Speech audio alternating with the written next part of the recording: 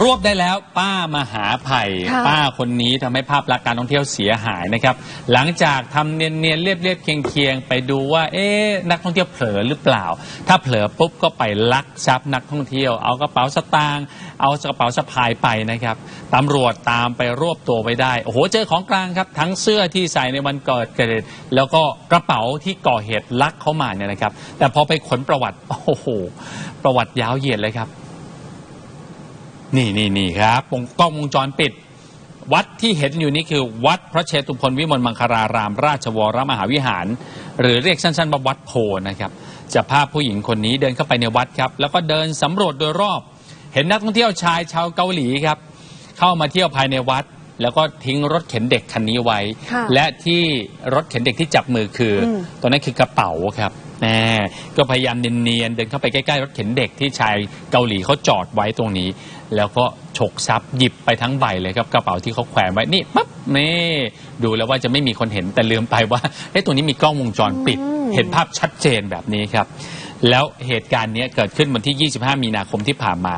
ต่อมาชายชาวเกาหลีก็เลย เห็นว่าทรัพย์สินหายไปแจ้งความที่สอนอพระราชวัง และหลังจากนั้นก็คือเมื่อวานนี้เองครับ ค่ะ 31 พฤษภาคมผ่านไป 2 เดือน ตำรวจนำกำลังเข้าไปค้นตามที่อยู่ของคนร้าย ที่อยู่คือย่านประดิษฐ์พัฒน์23 เขตพญาไทกรุงเทพมหานคร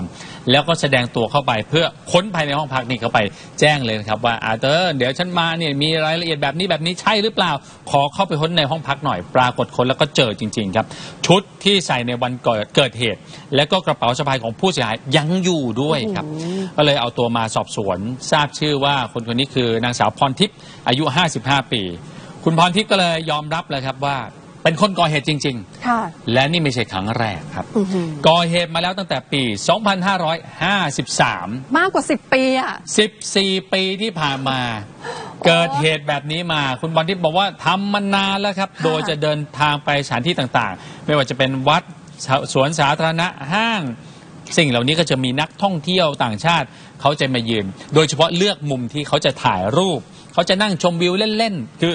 อาศัยจังหวะเผลออะครับ ค่ะ ก็เข้าไปหยิบทรัพย์สินเหล่านี้หลบหนีไป ทรัพย์สินที่ได้ก็นำไปขาย แล้วเอานำเงินมาใช้จ่ายส่วนตัว แล้วเขาบอกว่าที่ทำแบบนี้อย่างต่อเนื่องเนี่ยเขาจะเก็บเป็นกองทุน อืม เพื่อเอาไปเปิดร้านขายกาแฟกันต่อไปครับ และพอไปตรวจสอบประวัติอย่างที่ผมบอกอื้อหือโชคโชนจริง ๆ ครับ พรทิพย์คนนี้ถูกจับกลุ่มดำเนินคดีลักทรัพย์มาแล้วถึง 11 ครั้ง โอ้โห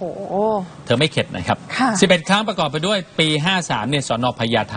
ปี 55 ก็ที่สอนอพญาไทอีกครั้งหนึ่ง ปี 57 ที่สอนอปทุมวัน ปีนี้โดนไป 2 ครั้งที่ปทุมวัน ปี 58 ไปก่อเหตุที่บางซื่อ ก็โดนตำรวจสอนอบางซื่อจับกลุ่มได้ดำเนินคดี ปี 60 ที่สพท่าอากาศยานสุวรรณภูมิ สอนอปทุมวันอย่างละหนึ่งครั้งรวม2ครั้งในปี 60 ปี 66 สอนอมีนบุรี สอนอบางซื่อ และสอนอปทุมวัน3สอนอจับกลุ่มเธอได้ ก่อนที่จะมาถูกจับในพื้นที่สอนอมีนบุรีอีกครั้งในข้อหาเสพยาเสพติดครับ และเธอเองก็เพิ่งพ้นโทษมาเมื่อเดือนมีนาคมที่ผ่านมา แล้วช่วงปลายเดือนที่เธอพ้นโทษมาก็มาค่ะ ก่อเหตุลักทรัพย์กันอีกครั้งหนึ่งครับแปลว่าเธอไม่เข็ดเลยนะคะ อืม ก่อเหตุนี่โชคโชนจริง ๆ